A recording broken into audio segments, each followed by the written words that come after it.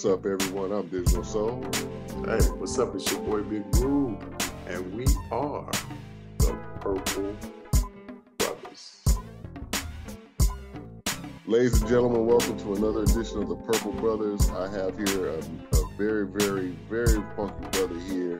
Uh, so glad that he uh, gave us a little bit of his time here tonight so we can have a little discussion with him uh, about uh, his time with Prince and and many, many, many other great bands and players that he's played with.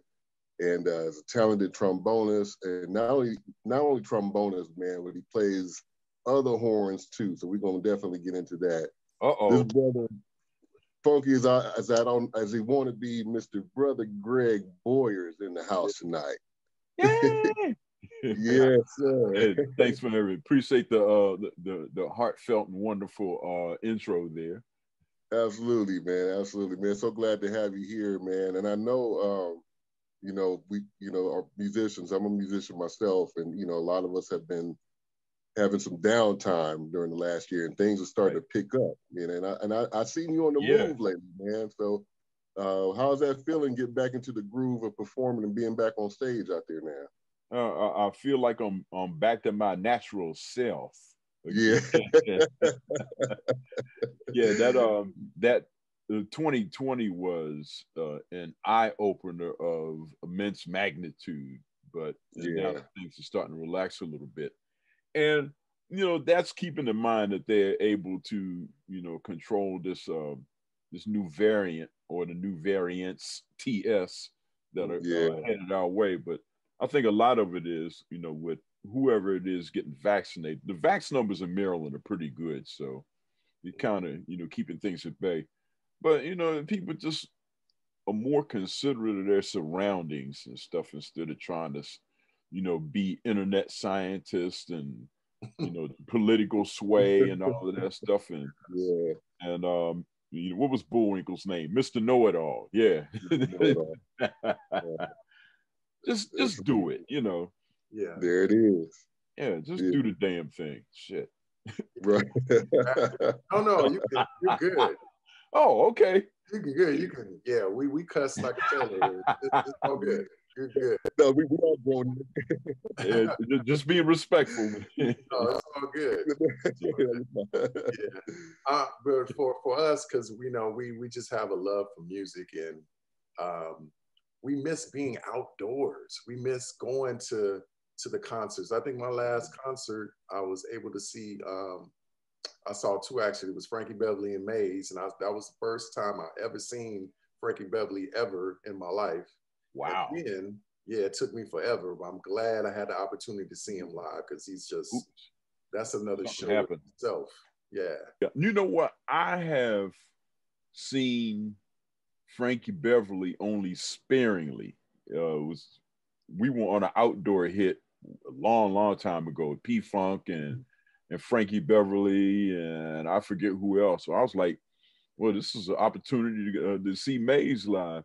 Yeah. But I yeah. think our transportation was like, oh, we got to get y'all out of here before the crowd, you know, starts leaving. So I didn't get a chance to see the whole show. Mm. Dang. Yeah, Frankie Beverly, man. He's one of the one of the great legends still here with us, giving us great concerts to this day, man. Yeah, that's the that's the black national anthem, man. Before I let go. Oh yeah. yeah. Everybody, everybody is singing that song in the audience, and everybody's wearing white. Everybody's wearing white. You you know you have an anthem when you perform a song live and all you do is just hold the microphone out there and say y'all sing it and everybody is nailing it you see you yeah. onto something at that point. Right eh, eh, right exactly and got the and got the dance steps to go with it and everything yeah yeah yeah, yeah man that's that's what it that's what it is man at a, it, yeah, to have that experience to watch it because look this is a brother I mean had an album out in like 35 years and he's still touring off his hits. You know what I mean? Yeah. That? It's legends. It's legendary. I mean, yeah, I, I, uh, I, was on Frank, Frankie and uh and Maze when they first came out with um the uh the album. Who remembers albums with uh with Happy Feelings? I go back that far. So yeah. Oh man. Yeah. Yeah, definitely. Yeah.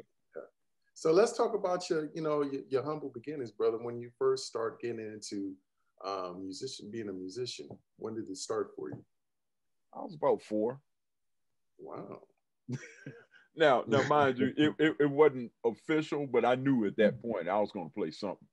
You know, I got one. I got one of those little plastic saxophones, and you know, when I was holding it all up in the air, playing like the guys on TV, because you know, in in the '60s, it was not hard to find musicians playing instruments on television. Mm-hmm. You know, if it wasn't uh, Ricky Ricardo and Lucy, The Tonight yeah. Show, uh, Midnight Special, Don Kirshner's rock concert, Ed Sullivan. There was a whole bunch of shows back then that had musicians, so the inspiration was everywhere.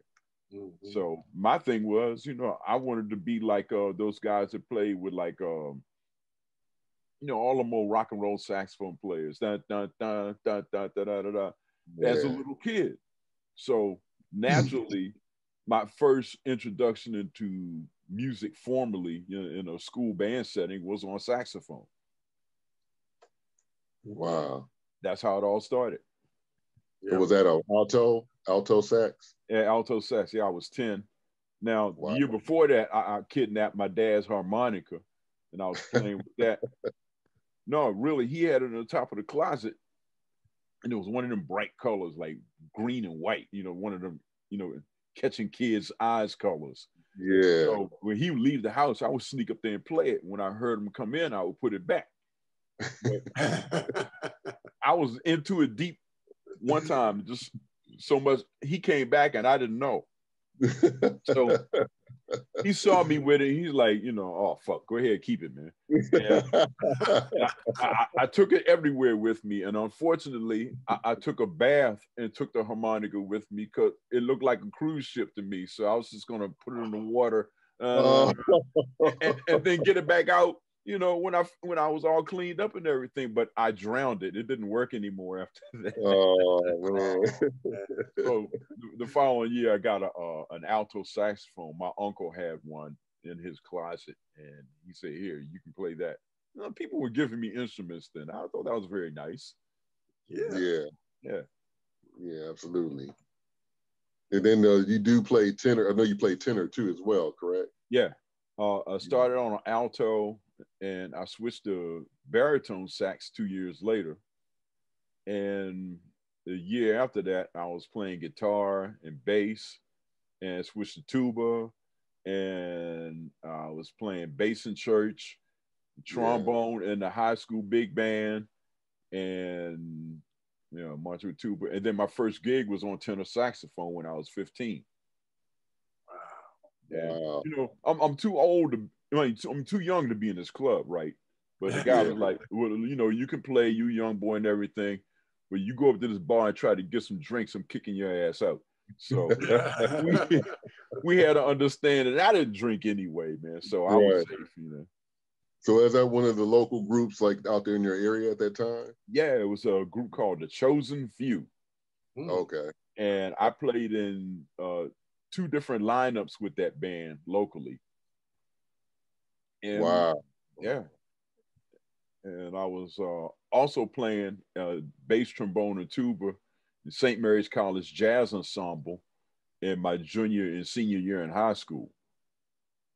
Right. So I would get half a day, then drive down to the school playing that band, and then you know come back and just be a knucklehead kid and you know irresponsible and all that kind of stuff that kids do when they're teenagers. So right, it, and that that's pretty much it, you know, leading up to getting with P Funk, but that might be another question. So I'm just going to leave it there. so I know, I know you said you started off, you know, alto and tenor pretty early, you know, in your life. Yeah. And I know you just didn't, you just didn't start playing. There had to be some, some music around the house that you listened to and, and, and, it's funny because I know trombone is, which is a very, very unique horn. It's a, it's a very, very good sounding horn because you can do so many tricks with it. Right. Who were some of the, the artists that you listened to, whether it would have been saxophone, trombone, flute? Who were some of the artists, jazz artists, or whoever it may have been that you influenced? Well, uh, uh, needless to say, I was a hardcore Parliament Funkadelic fan. even know, before you got with them? Even before I got with them. Uh, matter of fact, my favorite member of the band was Pedro Bell. Uh, the artist. the artist, yeah. And I, I, had, and I used to do all kinds of little artwork and stuff and draw yeah. pictures. Okay. It, it, looked like they were acid influenced, but now, all yeah. I know was it was it was it was pretty cool that a guitar would have legs on one end and a head on the other, and yeah. you know strings in the middle. And it, it, stuff like that just went on. You've seen the covers before, man. Oh man, they're they're iconic, man. yeah, yeah. It, matter of fact, it's a rite of passage. When Funkadelic put an album out, you would go down to the store, get it, put the album on. While the album is playing, you open it up, mm-hmm. and you mm-hmm. clean your weed inside, and let the seeds grow down. Twist you a fat one. And, and, and, then you just sit there and just read all of the cartoons in the cover. Right. sometimes that would take days. So right, right, that meant a lot of playing and a lot of rolling, you know. So mm-hmm. I know. Yeah, so yeah, that was um, you know, what you did when you got one of those. And it was wasn't just Parliament Funkadelic. I was influenced by uh, Hendrix, Larry Graham, Sly Stone. I was uh, jazz influences were Gene Ammons and Richard Groove Holmes because my parents had an extensive yeah. jazz record collection. Yeah. And just from them playing the records, I was able to know a lot of standards before I even picked the horn up. You know, I get it. Like, uh, oh, that's that song that you know my dad was playing the other day, and I figured that out, and then yeah, then my sister, you know, she had all of the uh, 45s, the latest groups and stuff. And my cousin had the Motown.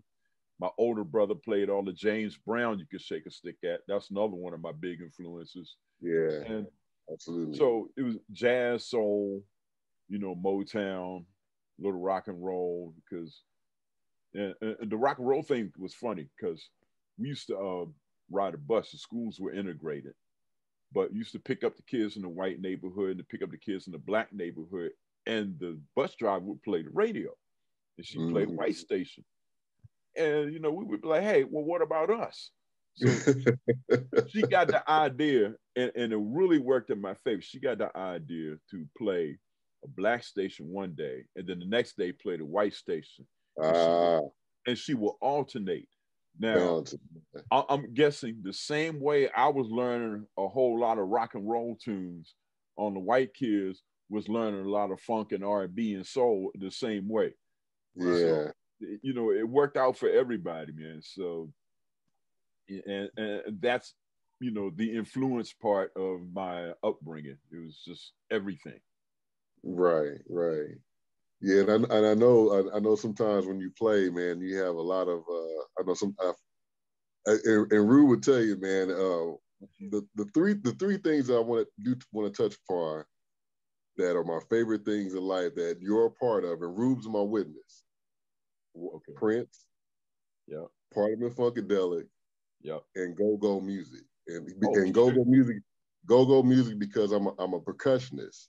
Okay.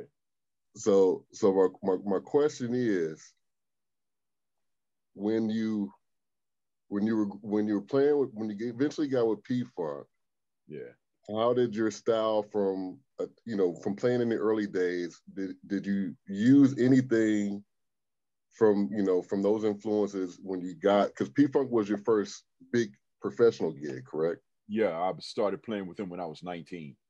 19 okay so so so all along from you know from from a child going you know through your teenage years of playing and playing yeah. what did you take with you to p-funk and then interpolate into their live act well I, I, feel like I, I feel like that my biggest influence with p-funk was playing jazz okay because you know i was i've already played in a few jazz groups by the time i joined p-funk Okay. And then um and then playing with Prince was mostly because he wanted Maceo in his band.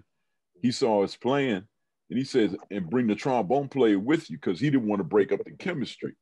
Yeah. So you know, but by the time I had gotten with Prince, I was already, you know, listening to a lot of stuff. I'd been playing go-go for a while, playing with. Maceo for about four years. And and then, you know, just the the the history I had with P Funk. I played with them for 19 years before I retired.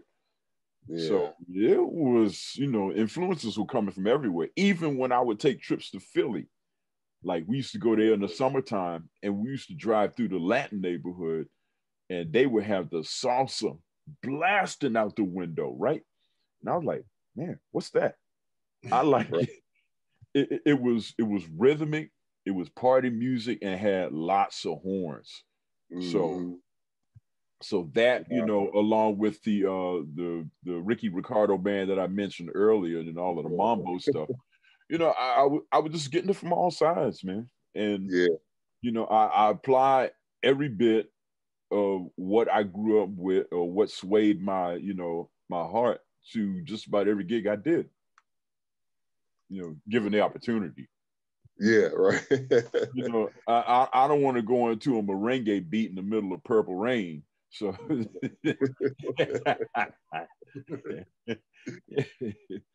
that's funny. So so playing with with, with Parliament Funkadelic, man. I mean, they're they're, legendary. Uh, Rock and Roll Hall of Fame. Um, the best of the best has come has has come out of that conglomerate, uh, including yourself. What are some of your best memories or you know best tour best recording sessions? What are your what are some of your best memories of recording with george and some of the crew and making some of those recordings or or even you know playing them live? Well from recording standpoint i think the most memorable one is the first one. You know i'd never been in a recording studio before and it was just all new to me. I'm looking around like you know i'm, yeah. I'm walking into willy wonka or something it's like, yeah. wow, look, it's you know, padding on the wall, microphones hanging from the ceiling. There's a booth with glass between me and the guy in the control board. ah, ah, ah. And that was that was on uh Parlet's Invasion of the Booty Snatchers. Ah, okay. And uh, not only did we play, but we even got a chance to arrange a lot of the stuff. Uh, mm-hmm. The horn arrangements were pretty much a joint effort by myself and and Bennie Cowan and Greg Thomas uh, yeah. of the three uh, P Funk horns, and so yeah, that session was probably the uh, the most memorable one because it was you know I hadn't done it before. Yeah, you know everything after that was okay. I've been here before. Let's do it again. Yeah, yeah, that's awesome, man. That's awesome. So, what is your favorite P Funk record you ever played on? Uh, probably Gloryhallastoopid. Because now, now, one song on there was like a horn section feature. Yeah. Um, yeah. Big Bang Theory, and it's just like all us all the way through. Boom, boom. and um, yeah, it, it was a saxophone solo on there that wasn't in the studio. So when it was released, it's like, where'd that come from? I don't remember that guy. And but still, you know, it was like pretty much we were out front and center. So, and yeah. then um, theme from the black hole was the uh, the other one on there. So, I think as far as the ones that I played on, that probably was the best one because everything after that was just like real spotty, you know, blip blop blop, and okay, that's a wrap, and that's all we did on the whole album. So. Very cool. So, so I know um, you play. You said you meant play with P Funk for 19 years, and um, I, am I'm, I'm actually disappointed that I never got to see this brother live because this is a, another bad brother uh, that you played with, who's also legendary uh, and is no longer here with us. Brother uh, Chuck Brown. Oh man. Uh, yeah, he the, the best to ever do it, and uh, I know you pl- you played with him forever. Yeah. Uh, talk about talk about your time transitioning from P Funk because I knew you were kind of doing both uh, for a little bit period yeah. of time. You know, yeah. Chuck had, Chuck had an understanding. He's like, look, I, I like having good musicians around, but the curse is, you know, sometimes they get gigs and they have to go on tour. And yeah. he wasn't hurting for anybody to substitute for us when we got because actually P Funk Horns as a section was playing with Chuck Brown. We went in together. And mm-hmm. then when I uh, quit playing with P Funk, I, I, stayed with the Chuck Brown band. I still play with that band now, even um, after he passed. The band is still going, and I'm still playing with them. And that started in 1989. Wow! Wow! Yeah. So um, yeah, it, it's funny. I just moved back from LA in '88. You know, Greg and Bennie were like, "Man, you need to get back here." You know, these horn sections these go-go horn sections are hurting, you know, and, and we can fill the void. So I got back and I was playing with a group called Sluggo. Um, then I was playing with Little Benny and the Masters. And okay. that's that's when Chuck heard us and, and he uttered the statement, I'm the only one in town that's qualified to pay you. I say, shoot, I say, you swinging a big stick, man. Let's see what you can hit and he was right. and the cool thing about the Chuck Brown gig is one, it, it it paid well. You know, I'm in it for the money. That's why I'm called a professional musician. It, it paid well, and you still got to play a little bit of jazz every now and he might throw you a solo, and you know you would do some section work and the gigs were so late, you could do anything before and still make it to the Chuck gig on time. Yeah. Now that coupled with the the party factor that you know, and anybody knows anything about go-go knows quite well that the audience is just as much a part of the band as anybody on stage. Oh, yeah. So, yeah. And and that to this day is one of my favorite gigs still. Yeah, and that, and that kept you working all year long. We tried doing between both. oh, Chuck, Chuck, was hot for a minute. You know, it was yeah. before I got in the band. He was playing five, six nights a week regularly.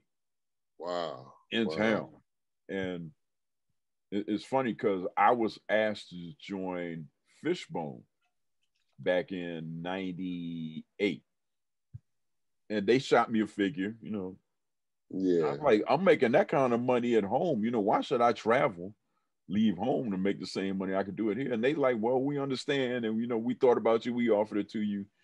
And I was like, you know, I really appreciate that. They were coming to town. They said, if you feel like it, come on down to the bayou, sit in. And I did. And they happened to be opening for Maceo that night. Oh, so I was playing, and Maceo was like, hey, there's a trombone player that opened the band and looked out there and saw me like, hey man, you want to sit and play a couple of songs? I said, sure. So I did. And he asked me to, he said, if you're interested, man, you know, we like to call you up, do some European dates for a couple of weeks. And I said, yeah, I'm I'm available. And I've been playing with that band since then. Once you locked in, you locked in. I mean, you know, a lot of the stuff is it, it, it, helps to be able to, you know, to play and all this stuff, but a lot of it is being in the right place at the right time. Yeah, absolutely. And, you know, absolutely. opportunity arises, be ready. You know, if you yeah. stay ready, you don't have to get ready. That's right. Because getting ready takes time. If you stay ready, you know, the, the, clock ain't rolling. So yeah, exactly. That's what they say, man. Mm-hmm. Do, you, do you still feel like um, I know like DC, Maryland, you know, uh, in that general area, go go is is like, you know, that is it's it out there. Do you, I, do you think that um, go go music still does not get the recognition it deserves in other states and things like that? Um, I say yes and I say no. Uh, mm. it, it, it gets the recognition it deserves but the thing is, outside of DC, I don't think anybody really knows what to do with it because it's more than just a beat. It's yeah, a, it's a movement. It's a lifestyle. It's um, yeah. and, and shoot, depending on who you talk to, it's a religion. Yeah. Yeah. And uh, uh like case in point, you know, DC is you know being gentrified just like a lot of places are now. And there's a place at uh Seventh in Florida it's a um, mobile phone place, and the guy sits out there and puts a speaker outside the door and plays go-go all day. And it's no big issue but you know now that everybody there's some new neighbors in the neighborhood and they're like ah that's oh we don't like it. It's all that noise and so and so. They call the you know they tried to have the guy to stop playing the music and it spawned the don't mute dc movement. You know mm. people showed they show it out you know like those big crowds that just like take up a whole intersection. Mm-hmm. it was it was a couple of gatherings like that. It was like look go-go has been here before you got here you know mr new resident new neighbor and it's going to be here when you decide to leave. So you know you ain't going to you can ask all you want but go-go ain't going anywhere. And yeah and, and you know and that's what I mean. You know, something that part of the that much of the fabric of a, a city is you ain't gonna just drown it, mash it out, kick it out, or is it gonna die anything? They um they're gonna keep it rolling. Matter of fact, go-go is officially the music of Washington D.C. Yeah, the bill was signed last year. Yeah, hereby decreed. So yeah. you know, you don't like yeah. it, get some new windows. Yeah. yeah. That's time for that, man. Yeah, yeah. that bill was last year, man. I, I, was excited about that too. Very cool.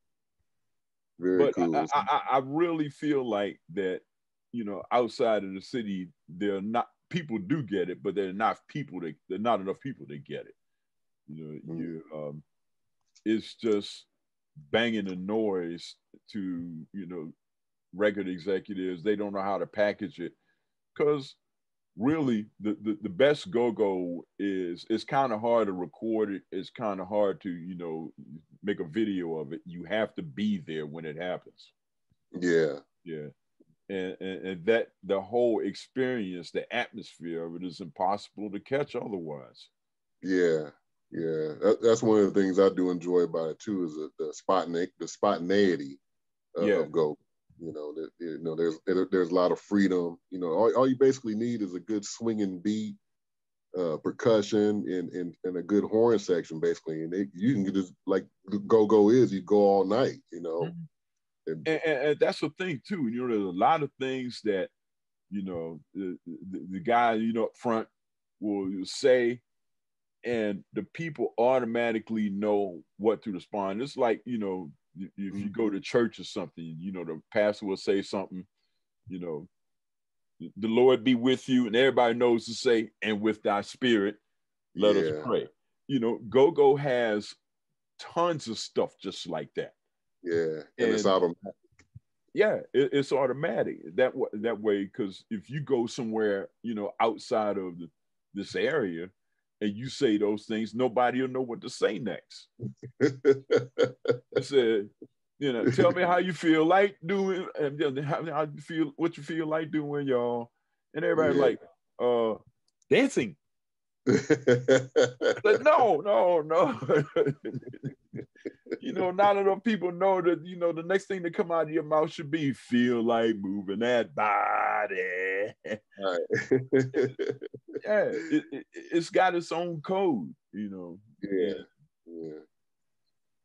But I, I feel like that if if introduce the public to it in increments, you know, mm-hmm. everybody knows the groove. If you bring an authentic groove, not just a beat, and, yeah. and let that settle, and then on top of that, then you start to build people's knowledge of mm-hmm. what go-go really is. And then maybe at that point it'll blow up.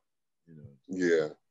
And, and you uh, you thought that you know being in uh, the Spike Lee movie uh, doing the butt that you know, maybe something will come of it because now it's starting to really get some you know nationwide recognition. But I don't think it was taken full advantage of because. Mm-hmm. You know, let's face it. You know, there's some people here that is shooting progress in the foot, you know, in, uh, in the uh, name of, oh, that's not authentic enough. Or, you know, why couldn't you call somebody from DC to do that? You know, them LA dudes don't know about no go go. And it just, you know, and, and people coming in. You got Snoop Dogg coming in, getting a piece of it. CeeLo coming in, getting a piece of it. Yeah. Grace Jones, and, and, you know, Kid and Play, Salt-N-Pepa, all of these people coming in there and, and getting the pinch of this. And, you know, don't be mad. You know, just say, you know, thanks for recognizing this thing. And if you yeah. need any any more, mm, give us a call. Yeah. You, you, know where to look. yeah, you know where to look. Exactly. Yeah, man. yeah, and those are, um, and you you hit on some great uh because uh, I think a Kid 'n Play. I, I automatically think uh, rolling, rolling, rolling, Kid 'n Play. Uh-huh. That oh la, oh la, that whole joint. That's go. Yeah. They represented go go. That was what back in like '89 or so. Yeah, it is. 88, 89. Yeah, yeah. 80s go go was faster than 90s go go. Yeah. Yeah. Yeah. That's true. That's true. Yeah. Very true. Definitely. I mean, think back to Busting Loose, man. You know, that was. Woo! Wasn't that early 80s or late 70s? I don't know. 79. Uh, 79, 78, 79. 78, yeah. 79, yeah. I feel like busting loose. Ooh, that, that song, that song to this day, man. It, it, that song is just like Brick House, yeah. Atomic Dog. It, it, don't matter when or where you put on busting loose. That song is still gonna get the party. Yeah, it's it's what I refer to as a black music milestone. It is, man. That song yeah. right there is still hot to this day. Like it yeah. came out yesterday. Fire, man. The horn, oh, no doubt. The horns make the song. The horns is just incredible. Yeah. Dun, dun, dun, And that's the other thing too is that people will play that line dun, dun, dun, dun, dun, dun, dun, and those notes right there, nobody ever seems to get it right. It's like, uh, what's that? Then take the needle and put it back and play it again. Mm, no, I didn't get it. I think Chuck did that intentionally. Was put this line in there that was so crazy that it was hard to break code on it. Sir. And I know, I know, um, you did. I know you mentioned for like back in when you're doing some things with Parlet, um, you were doing some writing and arrangements. Uh, when did you start to write, or or how did you start to write? Um, shoot, right from the start, because okay. you know ideas go in and out of my head. So okay. a lot of times when I get something, I write it down to make sure that I don't forget it. Okay. And as a matter of fact, I started even in our musical training. I started when I was 10 years old. By 11 years old, I was already doing arrangements. Okay. Because you know, I would just hear stuff and just like write it down. Yeah. You know, yeah. I might have been, you know, cutting my teeth. It's like, you know, seeing them cubs go out there and, and catch a baby deer. They won't eat it. They just keep swinging at the bottom legs, just trying mm-hmm. to get the mm-hmm. skill shot. So that I felt like that's what I was doing was, um, you know, just trying to work on my writing chops. So uh, I'd been arranging, shoot, almost right from the beginning. So wow. I got with Parlet and then you know I would go ahead and write a write a line down and yeah stuff, and then you know with with just any group I was in, I was, I mean, I was even writing big band stuff when I was like you know seventeen or eighteen. Wow, very cool. So, yeah. Do you feel like now at this time, like, um, I feel like music, people are not really reading or learning to read music anymore. It's like, you know, when I was in school, junior high and high school, it was it was prevalent. You know what I mean? You could yeah. you could take um, beginning band or intermediate band, and you learning the notes and you learning how to read. But it seems like nowadays it's not really the case anymore. It's, and a lot of it is like they take it out of the schools. You know, band. Exactly. You know, and that's the issue. You know what I mean? yeah, they're slashing the budgets and you know, yeah. arts, you know, music and, and visual arts and stuff are usually the first thing to go. So, you know, kids nowadays don't have the luxury of just going to school, picking an instrument and learning how to play at school. They have to go to like a, a music store where, you know, somebody's teaching them in the back next yeah. to all of the cases and stuff. And, and and and that more than anything is, is the culprit behind people are not really playing their instruments anymore. It's just like there's no influence. I mean, really think about it. You turn on the TV now, who's playing a real instrument? You'd be hard pressed to find, unless you turn on PBS and they got like a symphony on there or something. Mm-hmm. You'd be mm-hmm. hard pressed to find somebody playing. I mean, you might find somebody if you're lucky enough playing real guitars and drums and keys and stuff, but horn players are almost like a like dinosaurs. Yeah. yeah it's like a dinosaur. Yeah. And that's why I'm so happy that Prince incorporated uh, horns later on. I mean, I started to see the horns back in, uh, and I had this conversation with John before, I think around 85, when around that time when he did America, the live version of America, the video with yeah. uh, Eric Leeds and um, Eddie M. Yeah. Cold, cold. I was like, okay, this is dope. This is dope. And then later down the line, you have what the NPG horns. And that was just like, I never exactly. thought they would bring in horns like he did. Yeah. And, uh, you know, he had different line lineups of uh, horn sections. And I, I think he was really all in when he hired the Hornheads, that five piece out of Minneapolis. And yeah, yeah, because because thing was like uh Matt Bliss and, and, and Eric Leeds, a nice two piece, and then they added Eddie M as a nice little three piece, but he wanted that fat, you know, thick tower power ish kind of horn section. He went with the horn heads, and he's been that way since. You know, it's like I I, I got to have a horn section. Aside from you know those times when he has his rock trio fits, Right. Yeah.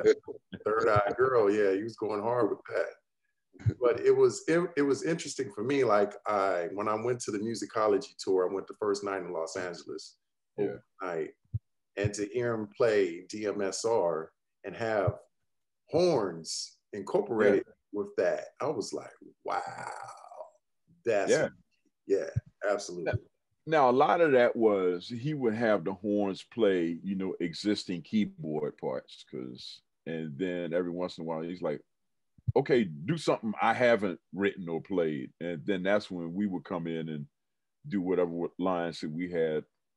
And yeah i was just you know recycling old p-funk stuff and maceo would re- recycle some old james stuff. And and Eric Leeds, when he was in there, would just come up with this, you know, really super slick, but very well fitting stuff. Yo, like man. that. Uh, you were speaking earlier about that uh, America. That yes. That now, now, according to Eric, that was a line that he heard off of Miles Davis' "Bitches Brew." It's some little line that Miles is playing in the background, and he incorporated that into um, the um, the live version of America. Wow, that's it. And and Prince wow. was Prince was a huge Miles fan, and you know Miles even came to dinner and with Prince and and Eric got yeah. to sit there with him, and I've I can remember correctly. Miles kind of mentioned that hey, I know where that line came from. and Prince told Eric, don't ever play that again. I don't want him to put that man in a, ever again to put him in a position where he could say that to me. So, you know, he kind of scratched that line out of it because, you know, it was, you know, off of a Miles Davis record. But it was so dope. It was so dope when he did it. That's before he went to the drums and he started doing this thing yeah. arms. Yeah, it was. And then he would stop the band. He's like, "No, let's do it again." And just on again. He loved that line up until he found out that it was um yeah, I, I, guess what he thought was lightweight plagiarism. and he's like, don't uh, do that anymore. I get it. I, I get it. But it was during that time. It was it was great to listen to. It was great to listen to. Man. I don't think I never heard it again. Right? He never really played played that live anymore. especially with the horns and stuff. No, Miles shut it down. That was it. It was it. but but, but I'm telling you, Miles, man, you- listen.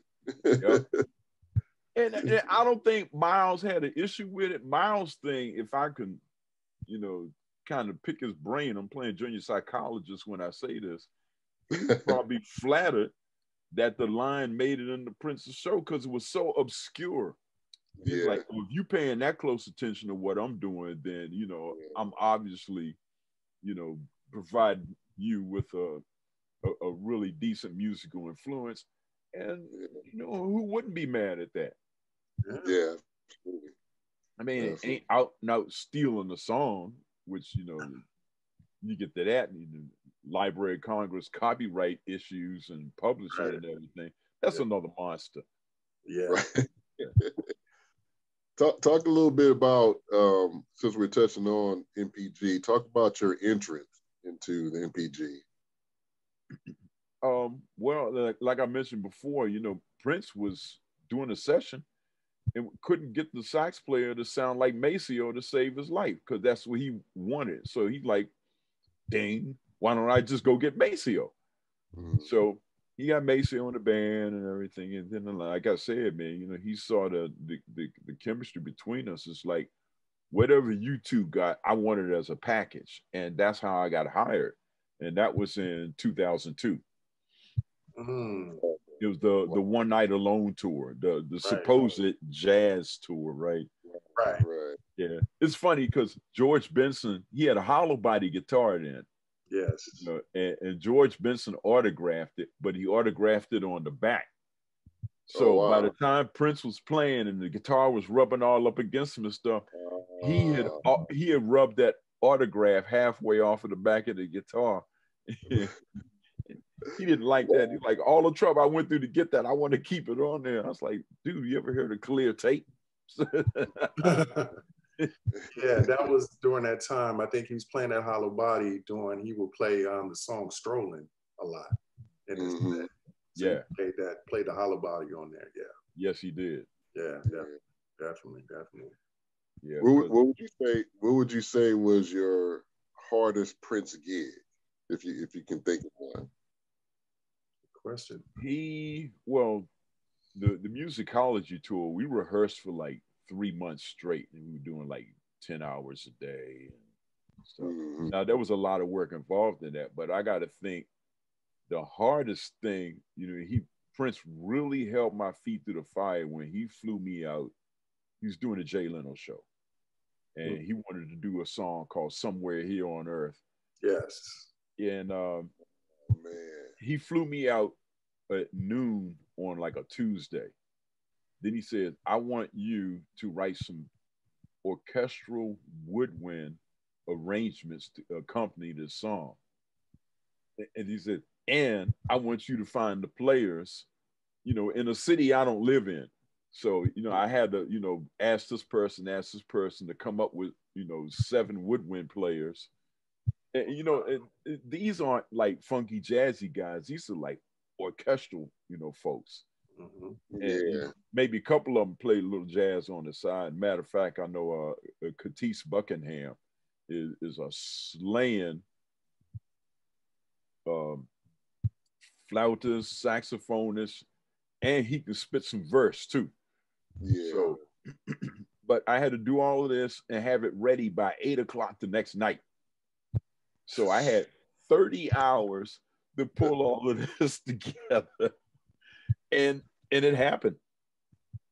And I, I don't think I've ever sweat so hard in my life on a gig because you know it was a daunting task and the and the deadline was like super super close. It's, Mhm. it's the kind of thing, if I had my way about me, I would have given myself at least four days, at least, yeah. and you know, a week to really be comfortable. And I, I got to think that that probably was like not just the, the hardest thing that I've ever done for Prince, but probably the, the, the crowning jewel of my musical career was to be able to throw all of that together and have it come out as good as it did. In such short time. Yeah. But limited, you had to write you had to write some arrange. You had to arrange um, the words. Yeah. I had to write the arrangements. Yeah. Find the musicians, get the arrangements to the musicians, and have it ready in from the time I landed, which was like noon, to eight o'clock the next night. So I had literally 30 hours to, to pull it together. Wow. So you, you didn't sleep that day. yeah, and, uh, I, I, got, I got, I got to tell you, man. Um, and me, me and Ruben, we did a show a while back on the five favorite top Prince ballads, and that song actually made my list as an honorable mention of wow. that performance. And that song is one, one of the most amazing songs, especially towards the later part of his career. Yeah, because I, I, always, you know, you know, Prince was always known, you know, we we we knew him, you know, with the with the bikini underwear and you know the trench coats and yeah, you know, sexy MF, you know, things like that. But there were times when he had, you know, those songs and you know, that image, but there was always that left song. Strolling was one of those songs. You know, Strolling was on the same album as, you know, uh, what was it, Sexy MF? Uh, no, not yeah. Sexy MF. That was uh, on Diamonds and Pearls. Get off. Get Diamonds off was okay, get off, yeah. Right. So, but he always, you know, you have Under the Cherry Moon, which had Do You Lie. So it was always a song where he kind of went left. And I consider somewhere here on earth that song for Planet Earth. You know, Planet Earth yeah. to me was a good driving, uh, good driving album, but that song, yeah, something about that song, man, it was just, it was just amazing and well put together. Yeah, and, you know that that's a misnomer too. A lot of people were thinking, oh, later on in his career, he wasn't writing as many hits, but mm-hmm. he was still writing some good music. Absolutely. Yeah. Yeah, yeah absolutely. Yeah. And you say somewhere here on earth, and and my favorite was uh, Get on a Boat. 3121 yeah. album, yeah. Because I'll tell you about that session. He just, you know, figuratively hung a mic from the ceiling, counted to four, and said, let's go.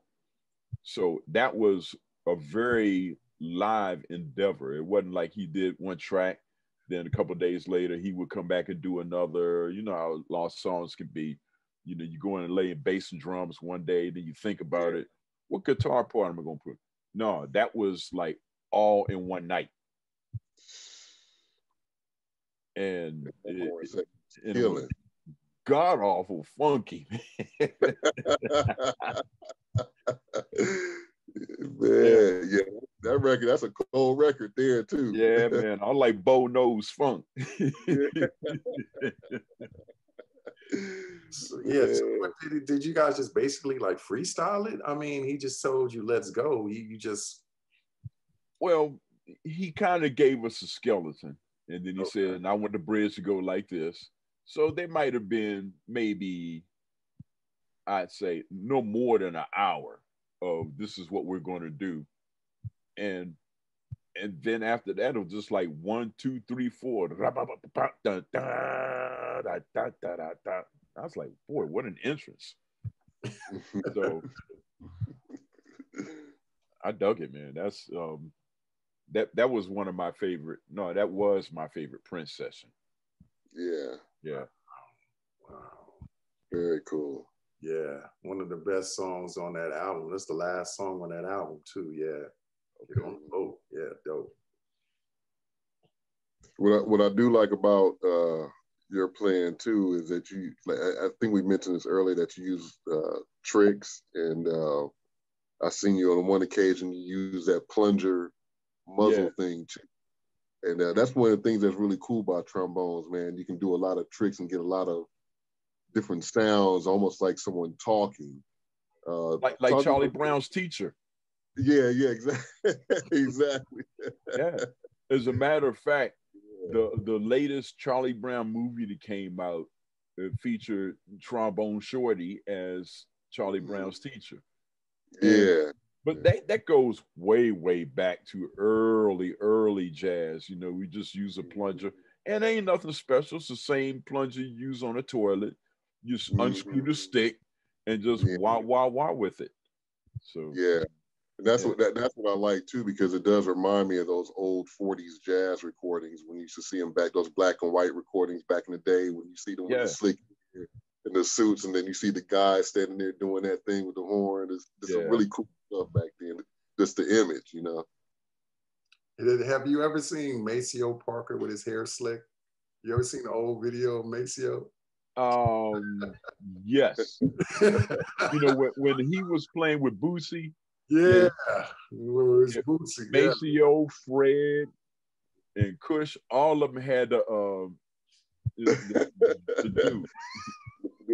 Like like some of that holdover James Brown stuff, right? Yes. no, I tell you what was really funny was there was a lot of people in P Funk that were still wearing their hair like that when I got in the band. So on off days, these grown ass men, you know, walking around with rollers in their hair and stuff. but, but come showtime, they was rock and roll ready. And, and looking good. yeah, they were looking good, man. They like okay. Yeah, you you had a you had a unique uh trend too, man. I, you know, like I said, a huge fan of P Funk, man. I've seen you play with them in, in the NPG quite a few times, man. But I know back in the day, I used to see you with P Funk, and you started the biker short uh, trend. yeah. And, and, I was thinking about that. I was like, wait a minute. Everybody in the in the in the uh, 80s was wearing, you know, bike shorts and spandex. Yeah. And, and I remember because before I got well, I was like a two year period between P Funk being off in 81 and 83. And I started doing bike messenger work in DC. I was carrying mail around stuff. So I was, you know, I was a cyclist for real. I wasn't just wearing the shorts just to be wearing them.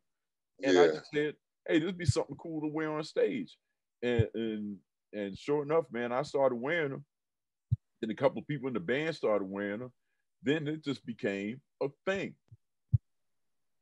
And you know, not just in funk, but you know, rock and roll, you know, uh, big hair rock bands and yeah. and all kinds of stuff and Grandmaster Flash and Furious Five. yeah, I remember. yeah, man. I remember, man. Those those were the days. Oh, so when you yep. when you you you started uh, playing with Prince in 2002 during the One Night Alone tour, and you went all the way until when? Till 2009. Till 2009. Gotcha. Yeah, 2009. He um, yeah, he had just like um, pretty much taken some time off. Wait a minute. Oh, I had to look. I heard a car alarm and making sure it wasn't mine but I'm good. But uh, yeah, he is, you know, taking some time off, and I was just like, yeah. I just started doing some other stuff, man. I, I, I, he asked me to throw a horn section together, five piece, and I was like, yeah, because his thing was he just thought that if he got all the most famous horn players in the world, that that was going to be enough.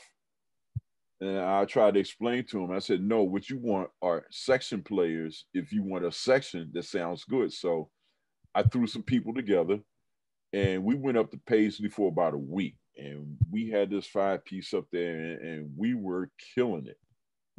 And, you know, at the end of the week, it's like, okay, yeah, I get you. So he said, I'll, I'll call you when, um, when, you know, I need you back to work on like some dates or whatever. So uh, proved that the section was working.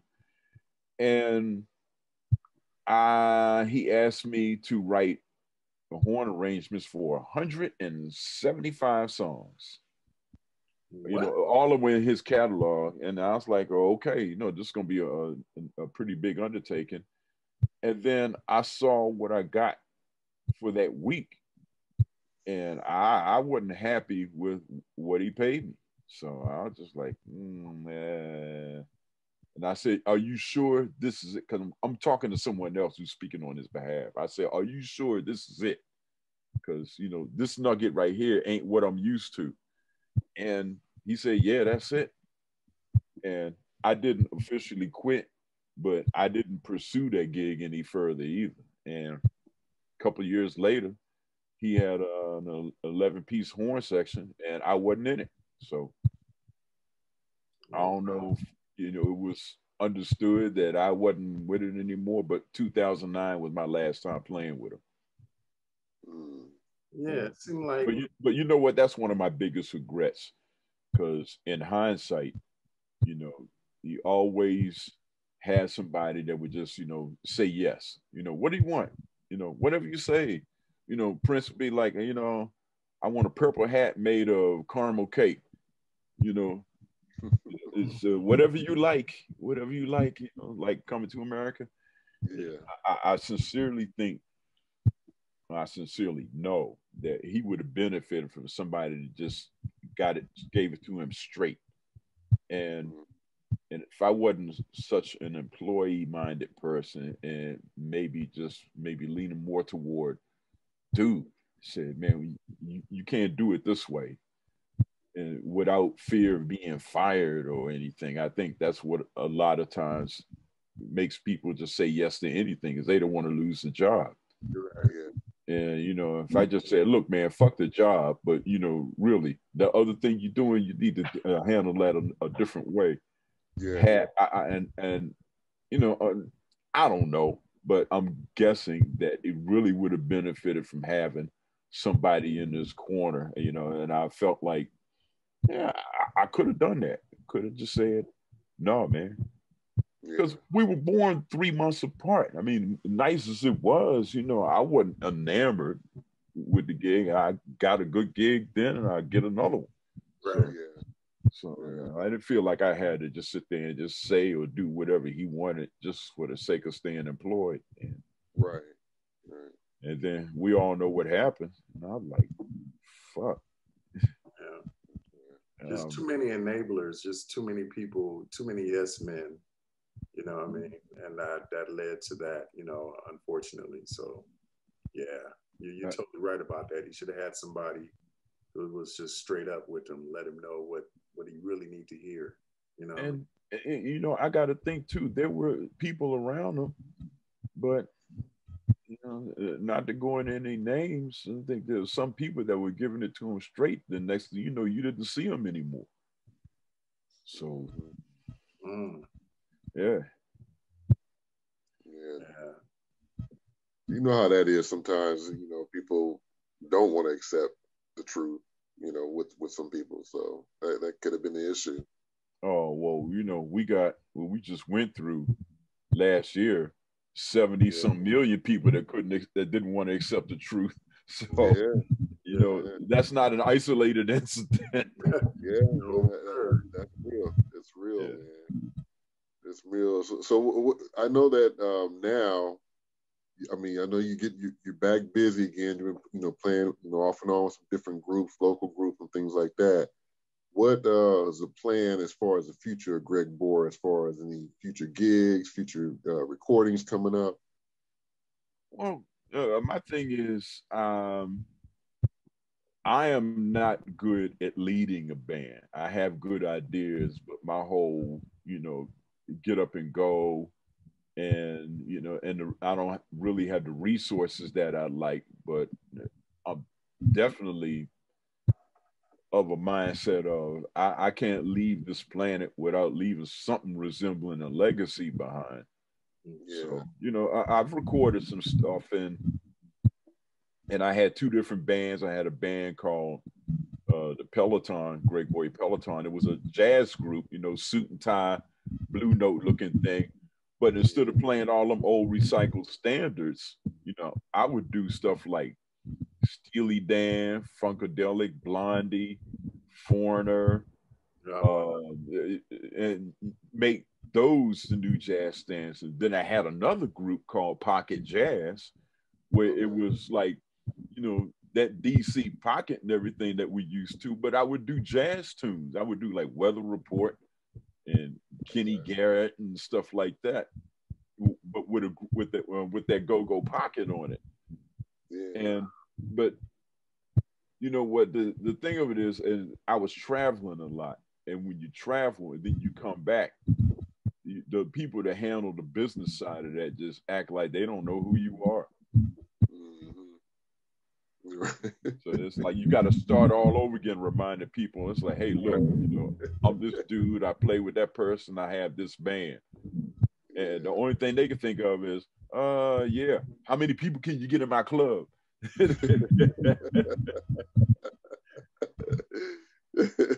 so you know what? Maybe it's just going to come to uh, just having to, you know, rent a space myself, do all the promotion.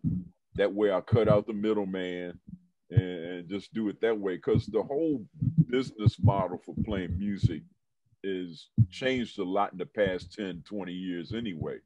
And it yeah. really changed as a result of COVID. So it's just a matter of thinking outside the box and uh, just coming up with a new way to do this. But yeah, and, and the other thing too, man, I'm I'm kind of like even now, not sure what direction I want to go to. Do I want to do jazz? Yes. Do I want to do funk? Yes. Do I want to do some some salsa? Yes. You know, I want to do it all. And it's not like people buy CDs. It's like it has to be all one type of music, man. People buying songs all a la carte. You know, yeah. if not, you know, twenty nine a song on iTunes, it's, it's streaming. You know, so you don't have to have a project with a theme anymore as much as you did back in the day. Just you know, release a song and release another song, yeah. release another song and you know people that like it like it, and those that won't, you know, will get something else. Yeah, commerce. yeah, that's one of the things I really miss about uh, you know back in the day, man. The concept albums when when you listen to albums as a whole from beginning to end. Yeah, you know even even hip hop albums, you know, even hip hop albums were good because it, you know a lot of hip hop albums had a concept and there was a theme running throughout the you know the album and things like that. Yeah. Uh, as far as you though, what what new artists or what like say if we went to a Greg Boyer playlist right now, what artists or what songs or what music are you listening to or digging into right now? Um, classic salsa. Okay. Uh, straight ahead jazz uh, from a, a funk standpoint, I got to go back. But there's some people like now, not right now, now, but you know, the D'Angelo's, the Robert Glaspers, yeah. Hiatus Kaiyote, yeah. um, and, and, you know, people of, of, of, that ilk, you know, still manage to be funky, but they still, but they're current at the same time. And uh, now a, a lot of that is you know, I don't see a lot of people using live instruments anymore. Like, okay, maybe the Snarky Puppy or something like that.